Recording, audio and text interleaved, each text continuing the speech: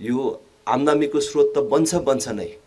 र यसको जैविक विविधताको संरक्षण वन्यजन्तुको आरक्षण संरक्षण बागमती सभ्यताको संरक्षण यो यस्तो बहुआयामिक र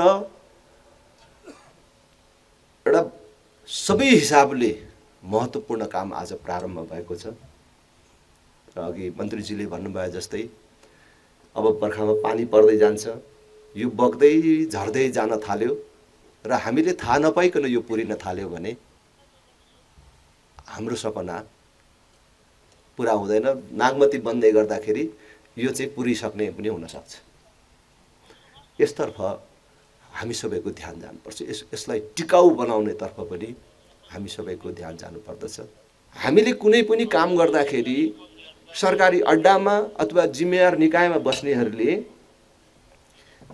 कोही सेवाग्राही आउँदाखेरि जनता आउँदाखेरि अब यो मान्छे आयो यसको काम चाहिँ के गर्दा मिल्दैन नमिल्ने कुरा कहाँ छ भनेर खोज्ने होइन।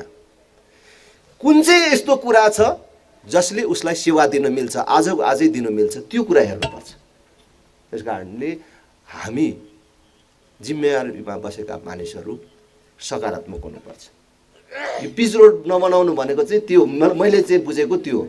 अरू कुनै व्याख्या छ भने मलाई थाहा छैन कि हुइक्याएर लगेर ठोकाइदेला भनेर यहाँ कहाँ हुइक्याउने ठाउँै छैन